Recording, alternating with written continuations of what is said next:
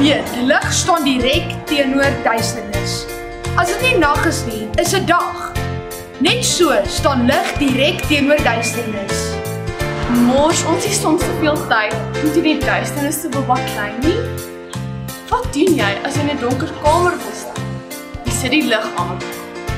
Wat doen jy as Eskom weer die krag afsit? Jy steek 'n kers aan of druk jou flits se aan-knoppie.